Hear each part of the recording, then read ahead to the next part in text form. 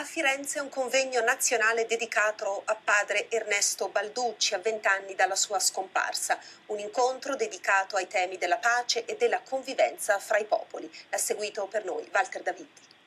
L'insegnamento di padre Balducci è rimasta fondamentalmente un'ispirazione.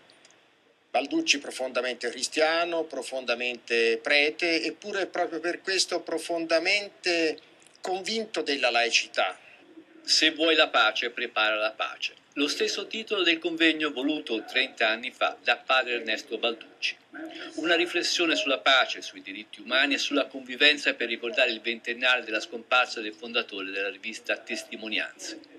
Due i temi principali della discussione, la guerra nella ex Jugoslavia con i drammi della Bosnia e di Sarajevo e le rivoluzioni che agitano oggi il Mediterraneo, dalla Libia all'Egitto. Nei 30 anni che dividono il primo e il secondo convegno, tante cose sono cambiate. La globalizzazione, per esempio, che allora non c'era, e poi i movimenti migratori dal sud al nord del mondo con il loro fardello di speranza e di disperazione. Ma pure in questa diversità spicca ancora il messaggio di Ernesto Balducci, il vicepresidente del Senato, Vannino Chiti.